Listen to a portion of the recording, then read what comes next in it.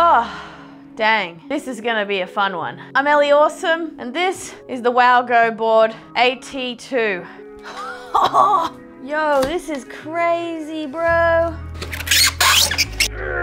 An Aussie power cable, big power brick, the remote. Oh, and there's a USB-C to USB. That's for the controller. A night riding light they've included. Skate tool, an Allen key tool with three different sizes on it. Oh, snap! A pump! So many things.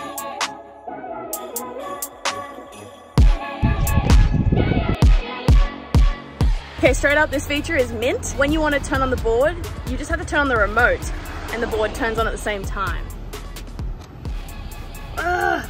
And it also turns off at the same time. Like you don't need this feature, but I love that it has this feature, especially for the price point. This is my first electric skateboard having come from a Onewheel, and although they're very different, it's been easy to get started. I think I'm particularly pleased that, at least on its level 1 speed mode, the takeoff on this board isn't insane. In the past, I've almost fallen off electric skateboards when trying them, just because they've almost thrown me off from the propulsion of the most delicate acceleration from just the first go. But the WowGo AT2 has been nice and easy going to get started on. I especially like that the board is flexible and bouncy in itself itself and it has those flexi batteries underneath. So when you are going over terrain, not only are the wheels being awesome, but the entire board is sort of shock absorbent. I specifically chose this board for its all-terrain wheels as well. I got the pneumatic all-terrain wheels on it and they have been awesome because it actually means that like a normal tire, you can pump them up, which means you can also let air out if you want to make it more of a spongy kind of ride.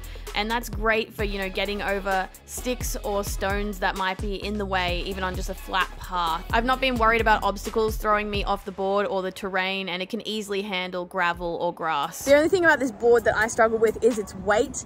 It's incredibly heavy to lift, and for me, as like a really small human, it's a lot to carry around. I'm someone that will like take my board somewhere where I want to ride it anyway, so I'm not sort of relying on carrying it around as a commuter. So I'm kind of placing it on the ground and riding to my destination and putting it in the car and driving to a destination that I want to skate at. The board has a range of 24 kilometers as well, so that's pretty good and I don't think I'm gonna have to worry too much about carrying it around if it runs out of battery. And if you're in a hurry, the board can also go up to 40 kilometers an hour, but for me that's way too fast and I was happy happy with the uh, lower modes going probably like 15 kilometers an hour. Overall, a pretty awesome board for around 1,500 Australian dollars or 1,000 USD. I mean, you can't get boards a lot cheaper um, for this kind of quality. I'll be honest, I hadn't heard of WowGo before I got this board, but if you dive into all the electric skateboarding communities, it seems like this is a new fan favorite. One of the boards that's sort of like up and coming, that's fairly affordable and sort of does it all. And I've been really happy with it straight out of the box. The quality has been great, it's easy to set up and get started, and it just works how you'd expect. It's a great electric board, especially for a beginner, and better than I expected. If you guys want any more information on this board, I will put a link in the description.